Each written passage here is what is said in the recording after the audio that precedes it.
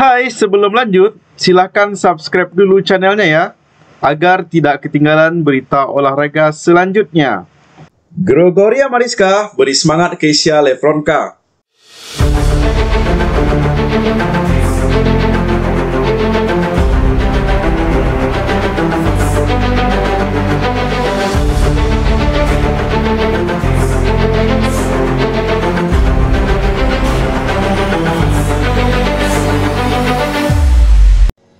Aku latihan tiap hari juga masih banyak error.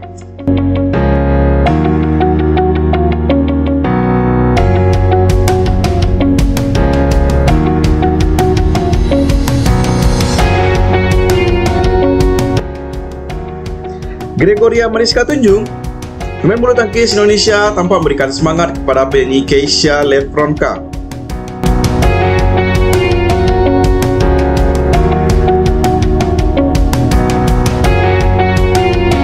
Baru-baru ini, penyanyi Keisha Lefronka viral lantaran baru saja menjadi korban olok-olok di salah satu program acara TV.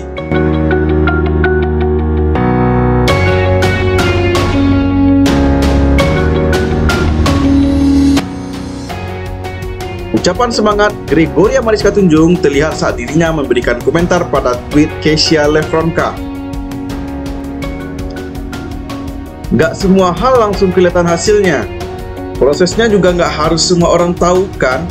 Tulis Kesia melalui akun Twitternya.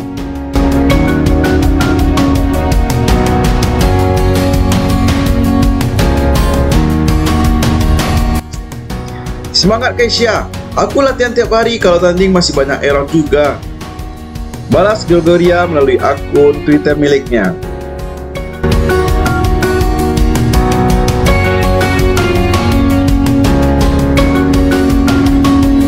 Sontak, komentar atlet bulu tangkis tersebut mendapat beragam reaksi dari warganet. Seperti yang kita ketahui, Gregoria pernah ingin stop menjadi atlet. Dalam unggahan foto di akun Twitter pada 23 Mei 2022, Gregoria Mariska nampak membagikan cerita perjuangannya selama menjadi atlet.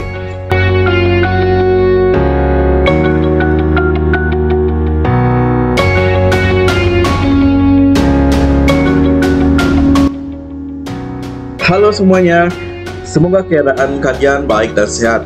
Aku mau sedikit cerita tentang apa yang aku rasain di karirku saat ini dengan yang sama-sama kita tahu dan lihat. Perkembanganku 4 tahun belakangan ini gak ada yang bisa dibanggakan.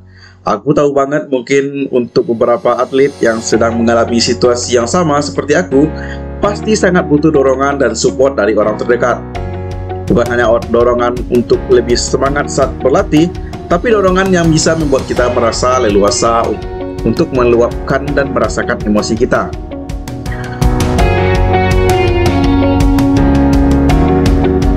Untuk aku sendiri, beberapa tahun belakangan ini aku sering merasa kecil, merasa gak layak untuk ada di posisiku seperti diri sekarang, dan juga merasa keberadaanku jadi beban untuk banyak orang.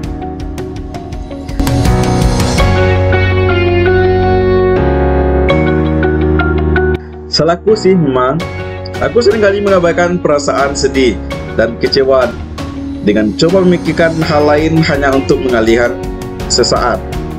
Dan saat pikiran itu muncul lagi, rasanya jadi berlipat lebih dalam karena aku memilih cara yang salah untuk menangani. Sampai di titik ini, aku sangat sangat merasa malu. Sedih, aku merasa nggak layak dapat pujian sedikit pun. Percaya deh.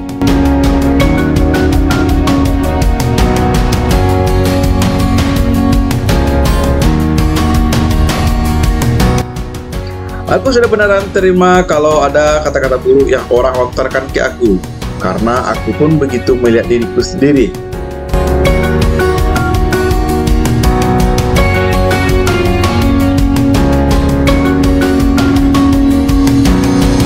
Untuk sekarang, aku ingin menemukan kebahagiaan di badminton dalam diri aku.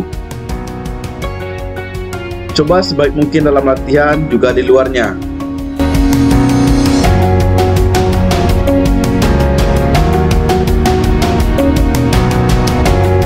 Dan seandainya aku stop dan cari jalan lain, aku akan terus mencoba untuk jadi semakin baik.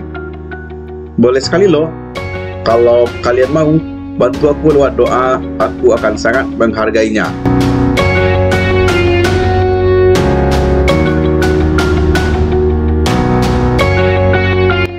Hingga saat ini, unggahan tersebut telah mendapatkan 1316 retweet dan 9000 likes.